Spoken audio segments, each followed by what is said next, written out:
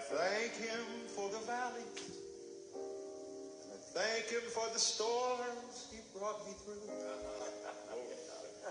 For if I never had a problem, I wouldn't know that He could solve it.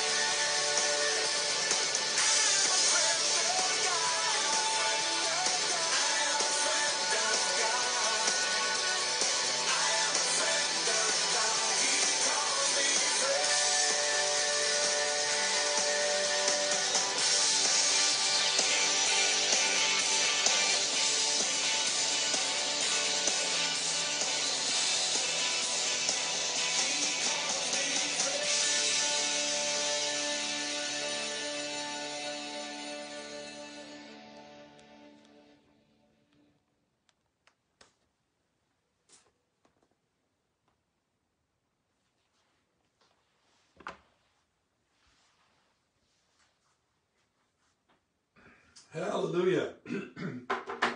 He's always thinking of you. Always thinking of you. Hallelujah. Praise God. Welcome today to this Sunday. We're so glad you can be with us. And uh, we just pray that you are rejoicing in the Lord. Despite what you're going through, He's going to carry you through whatever it is that you're facing because He is a faithful God and a faithful friend. We are going through a series called The Alphabet of God. And today uh, we want to just focus on something a little bit different. We're going to be talking about Jesus' words that he speaks to us regarding friendship. And uh, we want to talk about Jesus being our friend. Let's go to the Lord in prayer. Heavenly Father, we thank you so much for being with us. We thank you that you watch over us. Thank you that you protect us. Thank you that you are in love with us with an everlasting love, that you never fail us, that you never give up on us. And Jesus, as we breach this topic, as we get into it, we pray that you would help us as the bread of life, that you would break open the Word of God, that you would make very clear and plain things to us maybe that we've never understood or seen before. We're relying upon you, Holy Spirit, to take over, to take charge. Lord, please touch hearts that are out there right now. Minister to individuals, open up hearts, open up minds, open up understanding, and everything else that is possible. And Lord, we'll give you all the glory and we'll give you all the honor and all the praise in Jesus' name.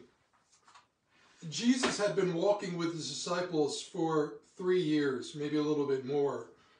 And during that time, the disciples had seen many things. John 21, verse 25 records John saying that if I were to try to put down all the things that Jesus said, not even the world itself can contain all the books. There were so many things and so many revelations that the apostles had as they were walking with Jesus. The teachings that Jesus gave uh, were incredible. They had never heard a rabbi speak like this man before.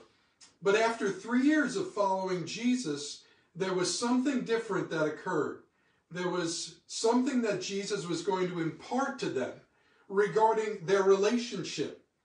And it probably dumbfounded them to a great degree. In John chapter 15, starting with verse 12, Jesus says this This is my commandment that you love one another just as I have loved you. Now we've we've heard that verse before. And the next verse too, greater love has no one than this that a one would lay down his life for his friends. You are my friends if you do what I command you. No longer do I call you slaves or servants, for the slave does not know what his master is doing, but I have called you friends. For all things that I have heard from my Father, I have made known unto you. You did not choose me, but I chose you and appointed you so that you would go and bear fruit, and that your fruit would remain. So whatever you ask of my Father in my name, he will give it to you. Three times, if you go back and you look at that verse, and I pray your Bibles are open to John 15, you look at verse 13, greater love has no one than this, that a one lay down his life for his friends. Verse 14, first part of it, you are my friends if you do what uh, I command you. Verse 14, the latter part, I have called you friends, for all things that I have heard from my Father I have made known to you. This is the first time in three years that Jesus is giving revelation about the relationship that they have. Think about that for a second. You know, sometimes our walk with the Lord, we could say it gets a little muddy, the waters are a little shallow. Uh, maybe we're not getting in and we're not sticking it through with Jesus. Maybe we're just going through with obligations and not really pressing into the Lord. These guys are following Jesus after three years, and this is the first time ever, ever that they hear Jesus say, You are my friends. What a revelation about this relationship. Yeah, they have this servant relationship still, but it's kind of like in the Old Testament when the servant wanted to willfully give himself over to the master, and there would be an owl that would be pierced through his ear as a reference to say, I am yours, I want to devote myself to you. There's that servant relationship, but there's a love there too. Jesus is saying, You are my friends. What is friends? Phileos. Philios, a friend, someone dearly loved or prized, cherished in a personal, intimate way, a trusted confidant, held dear in close bond of personal affection. You are my dearly loved ones. You are my cherished ones. you are the ones that I want to be very intimate with and very personal with. After three years, there's this revelation. Let me tell you something. Don't stop pressing into the Lord because you never know when there's suddenly a revelation that God is going to download to you regarding your relationship with Him. Now, let me ask you do you think, just for a second, that the disciples were a bit in awe when they heard Jesus utter these words, You are my friends. You are my friends. Wow. Do you think maybe they were just a little taken back? I would think so. And why is that? Because there's only two people referred to in the Old Testament as a friend of God. You have Abraham and then you have Moses. In Isaiah chapter 41, verse 8, the Lord says, But you, Israel, my servant, Jacob, who I have chosen, descendant of Abraham, my friend. So we have Abraham, who is considered and referred to as the friend of God. And there's only one other person, and that was Moses. Exodus chapter 33, verse 11. Thus the Lord used to speak to Moses face to face, just as a man speaks to his friend. So here we have again this relationship. God is saying about Abraham, he's my friend. God is talking about Moses, and when they're in prayer together, they're communing together face to face, just as a man speak to his friend. So were the disciples in awe over this? I really think so, because now you have in front of them God manifest in human form, and God manifest in the flesh, in a human body, is speaking to the disciples, and he is placing the disciples on the same level as Abraham and Moses. Think about that for a second. That is just incredible. You are my friends. John 15, verse 9 through 17. Well, somebody say, well, that's great for them. You know, that's really great that they had this really close, intimate relationship with Jesus. But what about us? Are we friends with God? Well, I want you to think about something. Abraham was considered the friend of God. And why? Because God spoke a word to him that he was going to do something, and Abraham believed God and it was reckoned unto him, or credited to him, or counted to him as righteousness. He was the father of faith, if you will. And he was a friend of God because he had faith in God, if you follow me. Okay? The Bible says that faith was credited to Abraham as righteousness, Romans 4 9. And he is, quote, the father of all who believe, Romans chapter 4, verse 11. So Abraham was a friend of God because he had faith in God. It wasn't a, he wasn't a friend of God because of the law and because he was living out the law and he was trying to do what was right. No, no. He believed God and it was reckoned unto him as righteousness. And the Apostle Paul gives a comparison of who we are in Christ because of Abraham. Or let me just read Galatians chapter 3, verse 7, and then verses 27 through 29. Therefore be sure that it is those who are of faith who are sons and daughters of Abraham. So when you believe in the Lord Jesus Christ, like the Bible says, believe on the Lord Jesus Christ and thou shalt be saved. When we believe, and that believing is a wholehearted entrusting of our body, our soul, our spirit, our future, our life, our past, our present, our future, everything into the Lord's hands. Belief is totally giving oneself over to the Lord. Be sure that it is those who are of faith who are sons and daughters of Abram. For all who have been baptized into Christ have clothed yourself with Christ. There is neither Jew nor Greek, there is neither slave nor free man, there is neither male nor female, for you are all one in Christ Jesus. Hallelujah. And if you belong to Christ, then you are Abraham's descendants, heirs according to the promise. So, because we believe and because we have faith, just as Abraham believed and was a friend of God, those of us who believe in the finished work of Calvary and what Christ has done on the cross, those of us who have yielded our bodies as a temple of the Holy Spirit unto the Lord, have given ourselves completely, and we trust in the Lord, we are friends in of Christ because of faith in Christ. Okay? We are friends of Christ because of faith in Christ. Amen? So you are God's friends because of the faith that you have in Jesus Christ. Now, what kind of friend do we have in Jesus? I just want to cover a few of these things. Number one, he's a friend who initiates friendship.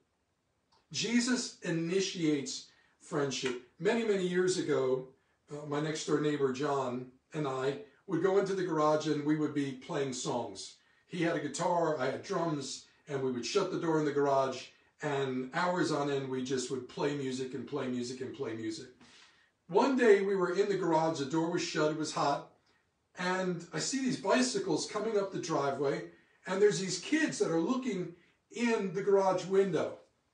And they're like knocking. We go over there, we open up the door, and it's these kids from uh, across the well, the other street. And they wanted to start a band. They really loved what they were hearing. They told us that every day they drive by on their bicycles and they were listening to us.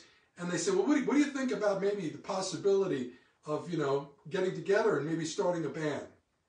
And that started a friendship, but they initiated that friendship. If it had not been for those guys who I, I'm still in love with so much today, passionately to this very day, um, and, I, and I don't see them as much, I wish I did, but I have one that I'm in touch with, but I just love them to death.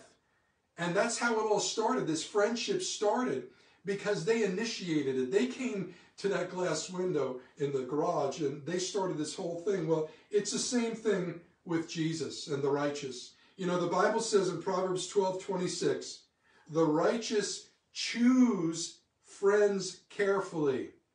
Listen to that again. Proverbs chapter 12, verse 26 the righteous choose their friends carefully. That's the NIV version.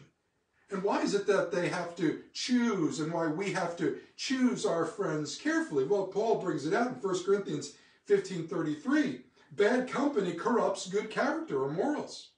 You have to watch out who you're friends with. And I know I've said this before and I'll say it again, but my friend Michael Francis says, you know, show me your friends and I'll show you your future.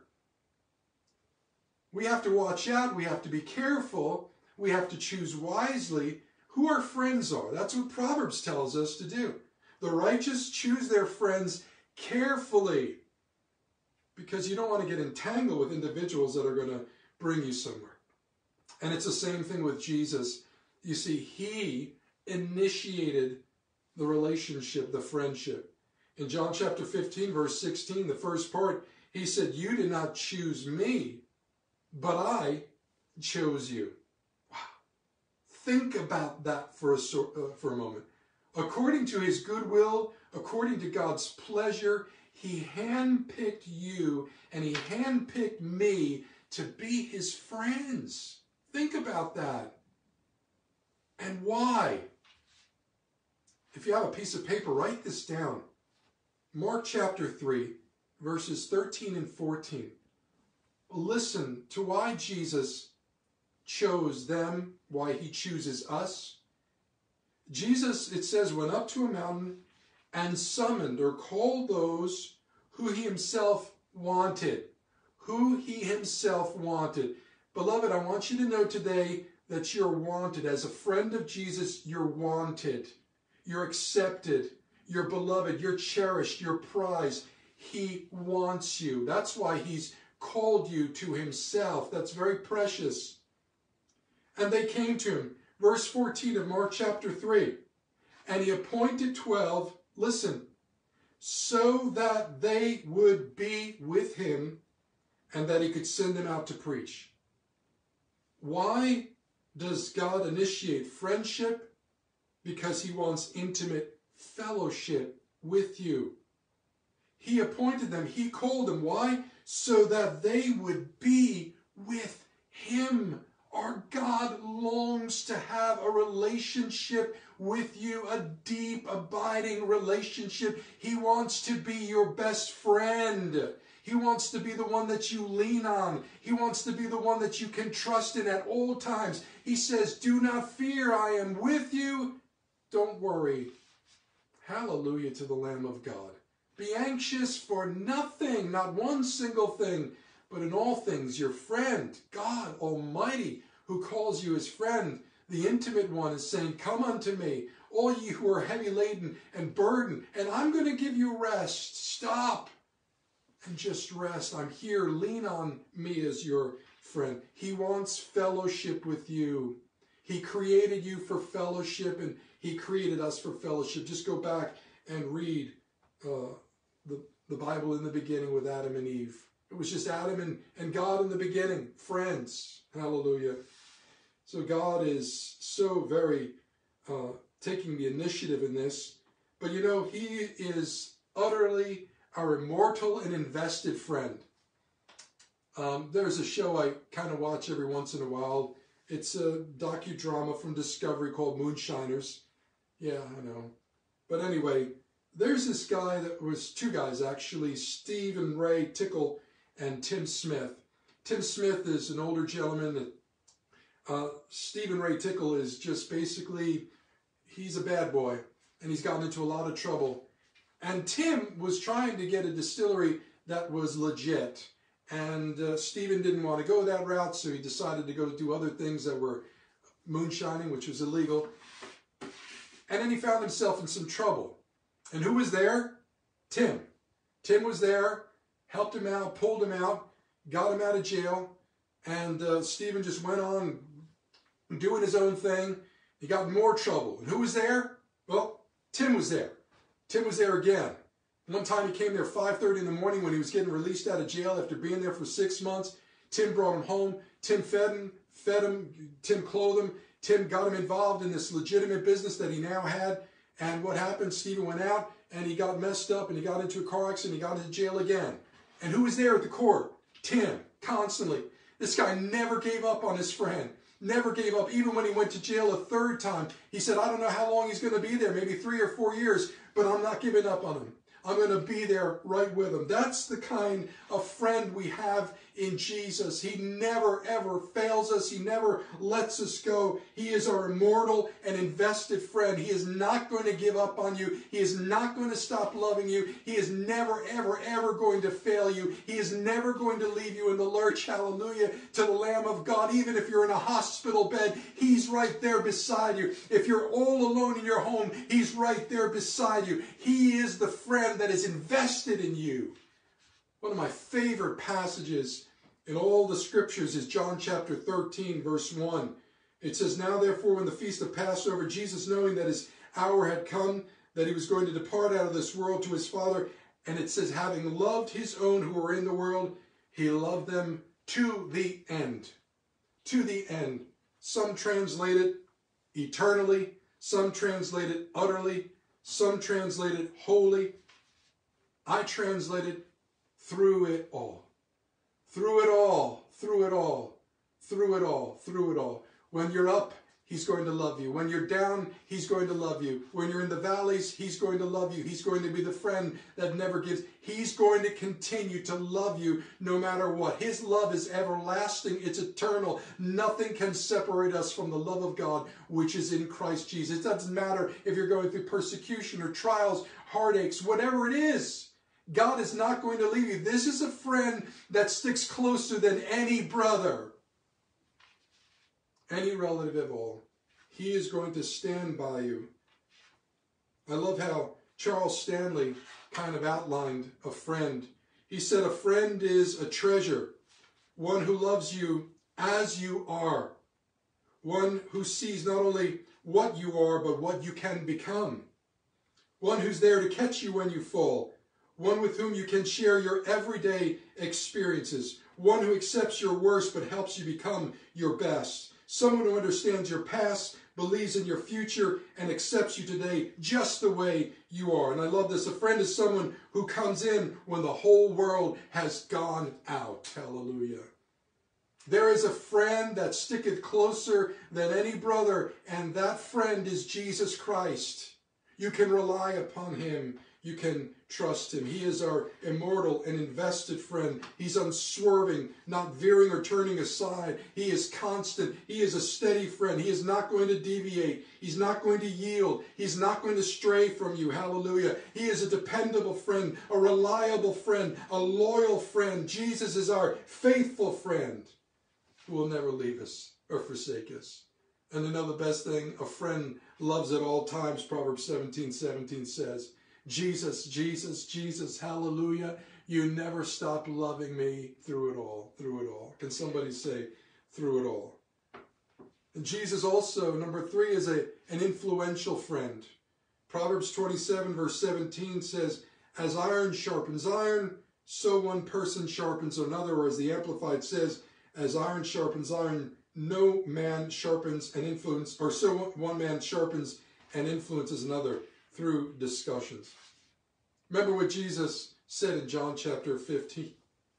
He said, You are my friends if you do what I command you. No longer do I call you slaves, for a slave does not know what his master is doing, but I have called you friends, for all things that I have heard from my Father I have made known unto you. It's amazing, but if you get into the Word of God from chapter 15, 14, 15, 16, 17, there's revelation that is coming out, revelation about the Holy Spirit. Jesus is downloading information to his friends. You see, that's what it is disclosure. God wants to disclose things to you through the Word of God, but you need to get into the Word of God to hear your friends speaking to you. He wants to counsel you, He wants to advise you, He wants to set you on the right course. But if you don't get into the Word of God, then you won't hear or be influenced by your friend. This is the influencer. The Holy Spirit will help you and guide you into all truth if you will allow Him to do so. And Jesus, your immortal friend, your friend who wants to be influential too, wants to steer you on the right course. He wants to enlighten the path before you. He will guide you into all truth. You see, many people think, oh, Jesus just tells me what I want to hear. No, no. Jesus also needs to tell you what you need to hear, okay? It's not just what we want to hear, but what we need to hear at times as well. And this is why it's so important to get into the Word of God. I don't know about you, but if you want to be sharpened, if you want to have influence, Holy Spirit influence, you need to get into the Word of God. He wants to talk to you. Amen?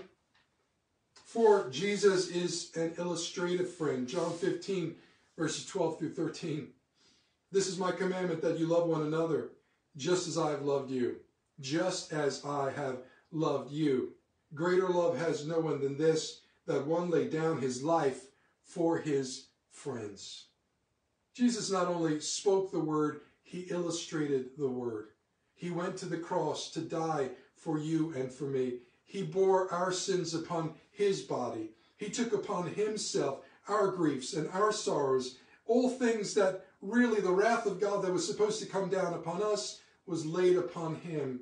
He became a curse so that we could become the righteousness of God. Think about that exchange. Jesus not only gave words, but he gave a wisdom and ways, and he displayed what he declared. He went to that cross and he died for us. I'm sure some who were standing by the cross, maybe even John, after hearing all of these words, looking upon Jesus, looked at him and said, My friend died for me today. My friend died for me today. Child of God, your friend died for you 2,000 years ago on that cross. Your friend went to the cross to take your place. Hallelujah to the Lamb of God. And what is the result of that? I love how Colossians, Paul puts it in Colossians chapter 2, verses 14 and 15. And now, because of what he did, I'm forgiven. God canceled out every legal violation we had on our record and the old arrest warrant that stood to indict us.